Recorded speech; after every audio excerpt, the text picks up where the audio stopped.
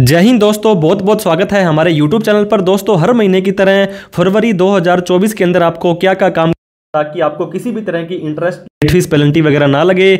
सबसे पहला काम दोस्तों, आपको जो करना है, सात 2024 को। अगर आपकी सरकार के ऊपर टीडीएस या टीसीएस के प्रोविज़न एप्लीकेबल होते हैं, जनवरी 2024 महीने के अंदर आपने दोस्तों किसी का भी टीडीएस काटा था या टीसीएस कलेक्ट किया था तो 7 फरवरी से पहले पहले आपको इसको गवर्नमेंट के अकाउंट में जमा करवा देना है। अब बात कर लेते हैं दोस्तों दस फरवरी की। दस फरवरी दो हज़ार चौबीस को जी एस और जी एस की अगर फ़ाइल आप मंथली फाइलर हैं, जनवरी महीने की आपको है दोस्तों दस फरवरी से पहले पहले फ़ाइल कर देनी है।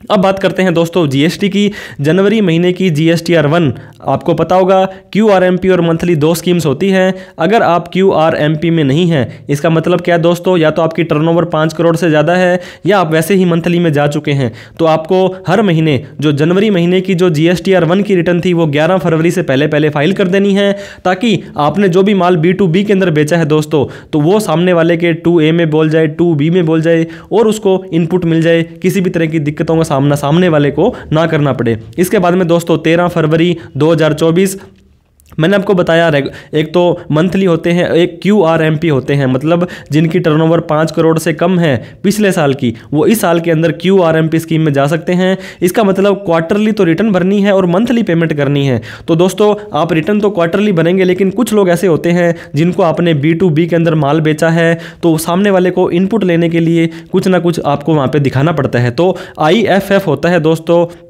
G S T R one की जगह पर आप आई एफ़ एफ़ भर सकते हैं। जनवरी 2024 का आई एफ़ एफ़ का मतलब इनवॉइस फर्निशिंग फैसिलिटी कि आपने सामने वाले को, हालाँकि आप क्वार्टरली रिटर्न में है, लेकिन फिर भी हर महीने आप आई एफ़ एफ़ भर के सामने वाले को इनपुट दे सकते हैं। तो जनवरी महीने का आई एफ़ एफ़ आपको तेरह फरवरी से पहले पहले भर देना है। इसके बाद में दोस्तों G S T R six और G S T R five है आपकी जनवरी मंथ की, वो आपको तेरह फरवरी से पहले पहले फ़ाइल कर देनी है। अब हम बात करते हैं दोस्तों चौदह फरवरी की। G S T R two B आपको डाउनलोड करना है और उसे रिकन्सिलेशन करना है थ्री बी से। आपको पता होगा टू ए के अंदर तो आपका इनपुट मिलता है। पहले तो टू ए वाला मिलता था, अब टू बी वाला इनपुट आपको मिलेगा। ड्यू डेट से पहले पहले जिस सामने वाले व्यक्ति ने अगर अपनी G S T R one भरी है तो आपके टू बी में बोलेगा। और टू बी और टू थ्री थ्री बी के अंदर दोस्तों, आपका रिकन्सिलेशन आप चौदह फरवरी तक कर सकते हैं।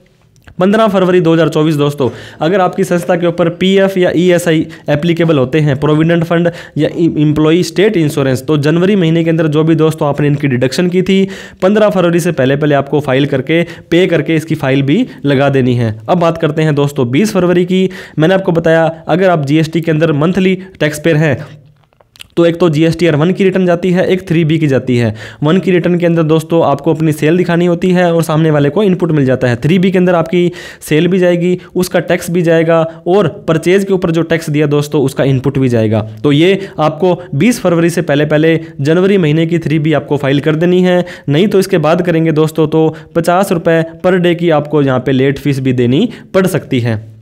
फिर से दोस्तों 20 फरवरी 2024 जनवरी महीने की जी एस फाइव ए थी। आप मंथली स्कीम में हैं तो 20 फरवरी से पहले पहले फ़ाइल कर देनी है। इसके बाद में दोस्तों जीएसटी का चलान करना है।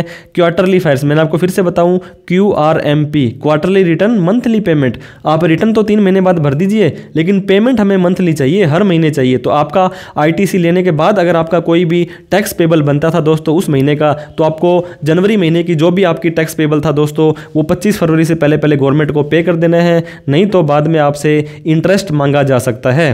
तो इस तरह से दोस्तों आपको ये काम करने हैं और आपको लेट फेस इंटरेस्ट पेनल्टी से बचना है। वीडियो अच्छी लगी हो तो लाइक करें। अभी तक हमें सब्सक्राइब नहीं किया तो प्लीज़ सब्सक्राइब कर लें। इस वीडियो को सभी लोगों में शेयर करें। कोई डाउट क्वेरी क्वेश्चन हो दोस्तों तो कमेंट करें। वीडियो हमारी कैसी लगी प्लीज़ कमेंट करके बताएँ। वीडियो देखने के लिए बहुत बहुत धन्यवाद।